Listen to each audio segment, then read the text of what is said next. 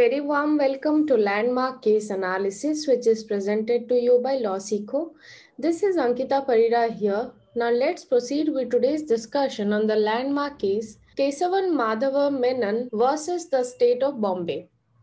This is a landmark judgment given by the Honorable Supreme Court of India on 22nd January 1951 by a seven judge bench.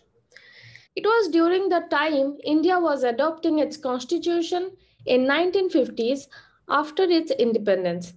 There were confusion regarding interpretation of constitution and most importantly regarding the continuance of the pre-existing laws and the execution proceedings related to them.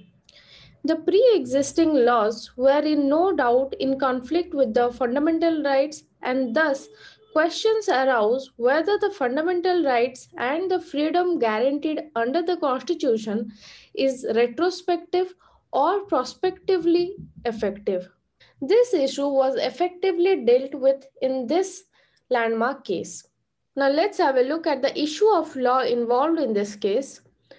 Whether section 15 subclause 1 and section 18 subclause 1 read with definitions contained in section 2 subclause 6 and section 2 subclause 10 of the Indian Press Emergency Powers Act 1931 were inconsistent with Article 19, Subclause A, read with Clause 2 of that article.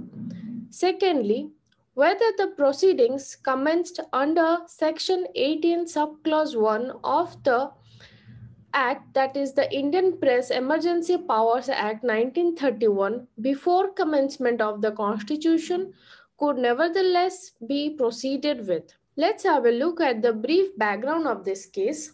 The petitioner is the secretary of People Publishing House Limited, which is a registered company under Indian Companies Act. In September 1949, a pamphlet was published under the name Railway Mazduron ke Khilaf Nayi Sazis, and it was contended that the petitioner has committed an offense under the Indian Press Emergency Power Act 1931. In September 1949, a prosecution proceeding under the Act was started against the petitioner in the Court of Chief Presidency Magistrate, Bombay. However, the trial court decided that it involves a question of law and during the pendency of the case proceedings, the Constitution was enacted and came into force on 26 January 1950. On March 3, 1950, the petitioner filed that Section 15 and Section 18 of the Indian Press Emergency Power Act 1931 is ultra vires and void in view of Article 19, Subclause 1a, that is, right to freedom of speech and expression read with Article 13 and therefore the hearing of this case should stay till the High Court decides on the question of law. On March 7, 1950, the petitioner filed a petition with the High Court of Bombay under Article 228 of the Constitution, praying for declaration of Section 15 and Section 18 to be declared void by the High Court as it is violative of Article 19, Subclause 1a of the Constitution, that is, right to freedom of speech and expression.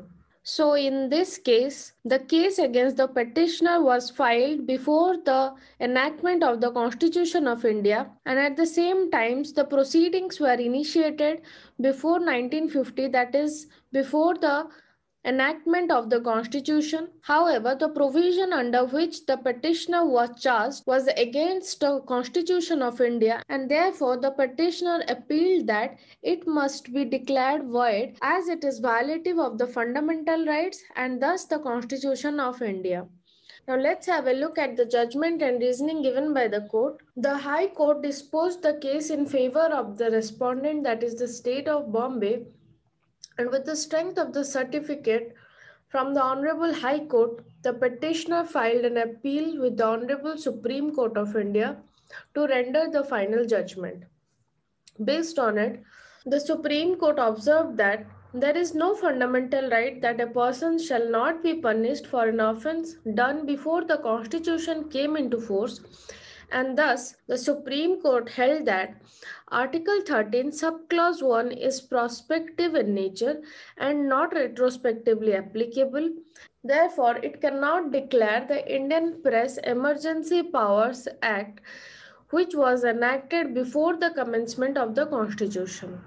Based on it, the Supreme Court also held that at the time of prosecution, the appellant did not have the freedom of speech and expression under Article 19, and thus Article 13 will not apply here and therefore an act done before the commencement of the constitution which is in contravention to any law that was in force at that point of time can be proceeded with and the accused must be punished in accordance with the law even after the commencement of the constitution.